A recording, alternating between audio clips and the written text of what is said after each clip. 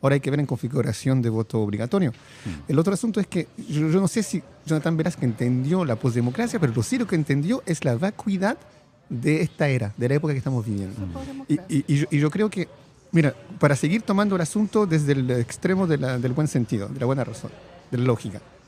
Yo siempre, y por ejemplo, ya que Francis estudió un doctorado también, el doctorado que te enseña, tú puedes no ser ultramente, obligatoriamente un tipo, una persona súper inteligente para sacar un doctorado. Lo que el doctorado te enseña es una metodología que tú aplicas.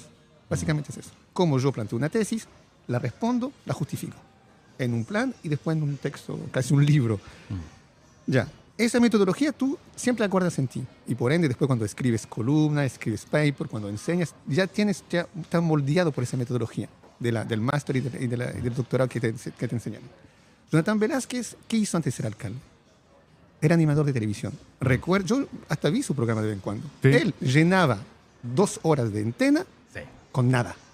Lo que sí, un don eso también. Porque O sea, para uno que viene en la televisión, es, es- o sea, es- tenéis que ponerle. O sea, es de- sin Messi el tipo, sí, Sí, el tipo sí, llenaba no, no. con aire una, un espacio.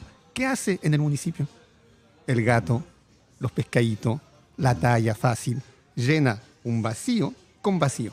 Salvo Mm. que es hoy en día edil, hoy en día es una autoridad, pero reproduce el mismo esquema que siempre ha utilizado. El problema es que lo propio de la política es crear e intervenir en lo real. Si yo intervieno en el, si yo intervengo en el viento con viento, ¿qué hago? Tornadas.